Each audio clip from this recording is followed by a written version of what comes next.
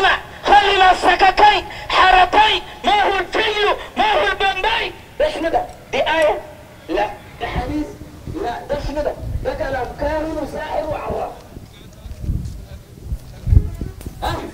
ده كلام كاهن وساحر وعراف ده ما هو آية ولا حديث. ولا كلام ولا كلام الإمام أحمد. ولا كلام لا لا. ده كلام زول مجرم. بياكل باسم الدين. الظل آه وما عنده بيت قضية ومشكلته دار يملك كرشه ده البرعي آه فهمت؟ بياكل باسم الدين عشان كده النبي صلى الله عليه وسلم راى عمر بن الخطاب شايل له ورقة. قال هذا ما يا عمر ما هذا تقرأ في شنو أنت؟ قال ما هذا يا عمر؟ قال صحيفه من التوراة.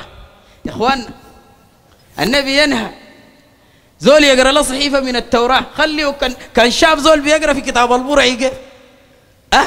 التوراة ده كتاب نزله الله لكن ربنا سبحانه وتعالى نسخه. أه؟ ربنا نسخه في القرآن. ربنا قال سبحانه وتعالى فمن يبتغي غير الإسلام دينا فلا يقبل منه وهو في الآخرة من الخاسرين. تمشي تلقط لك دين من الشكانيبة ومن وين؟ ها ومن ال... هناك ناس الف سبحان الله يا أخي ديل فاتوا بعيد ومن الخنجر اللي بيقول لك في دينهم إنه ال- الله ذاته ما منزل مطر. ده في دين الصوفية بتاع الخنجر. آه آه تمشي ديل تشيل منهم دي. ديل بيشيلوا منهم دي. يا أخي النبي صلى الله عليه وسلم وكيد رأى عمر قال له فالقها يا عمر. صحيفة من التوراة؟ قال له الغها يا عمر. قال له لقد جئتكم بها بيضاء نقية. أه؟ بعد ذاك النبي صلى الله عليه وسلم وضح له قال له لو نزل موسى ابن عمران لو كان موسى ابن عمران حيا ما وسعه إلا أن يتبعني. يا أخي موسى عليه السلام كليم الله لو حي.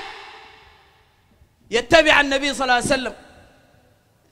موسى عليه السلام والنبي صلى الله عليه وسلم نبهنا إن عيسى عليه السلام الذي أنزل إليه التوراة نبهنا أيضا النبي عليه الصلاة والسلام. قال يوشك أن ينزل فيكم ابن مريم حكما عدلا يكسر الصليب ويضع الجزية.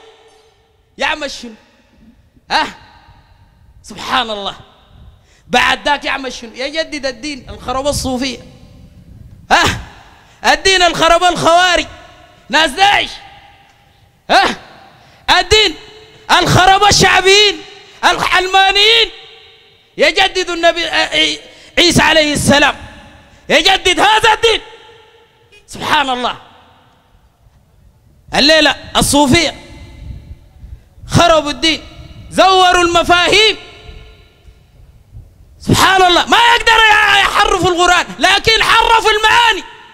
تدي آية بينة تقول له ربنا قال ومن أضل ممن يدعو من دون الله من لا يستجيب له. ها أضل مخلوق؟ ده البناد غير الله. في صوفي ما حافظ الآية دي.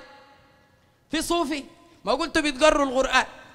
كلام بين وما داير له شرح. في صوفي ما بيقرأ الآية دي وما حافظها. تلقى الآية دي معلقة في عباط الصوفي. آية.